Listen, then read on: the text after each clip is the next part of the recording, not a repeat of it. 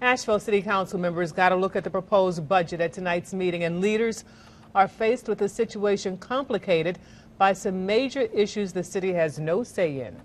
A lot of Asheville's financial plan for the year ahead hinges on matters still to be decided at the state and county level, so contingency is likely the key word. News 13's Frank Crocker is streaming live downtown. Frank, what does this boil down to for taxpayers?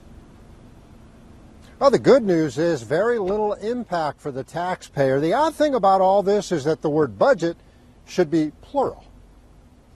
This is unlike any budget we have put together because, in fact, we're putting together three budgets. Asheville City Manager Gary Jackson made a complex situation sound simple. Three contingencies you're aware of, and three plans that we have in place depending upon important decisions that are made at the legislative level. Those decisions involve unknowns, like the level of statewide tax reform finally enacted, whether the planned Buncombe County Culture and Recreation Authority takes over some expensive city facilities. Then there's that issue we certainly hear plenty about. As of now, we're budgeting as though the water system were going to stay with the city of Asheville.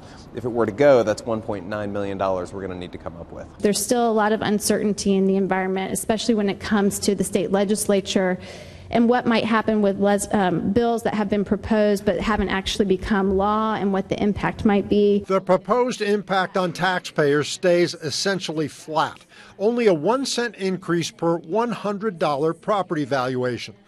The city workforce gets a 3% pay raise after years of low or no increases at all. I think the city of Asheville has done a remarkable job when it comes to maintaining its core services but minimizing the impact on the taxpayer during a very difficult financial time.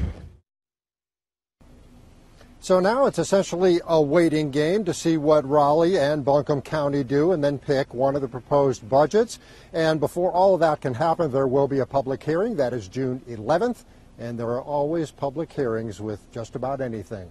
Reporting live in Asheville, Frank Crocker, News 13.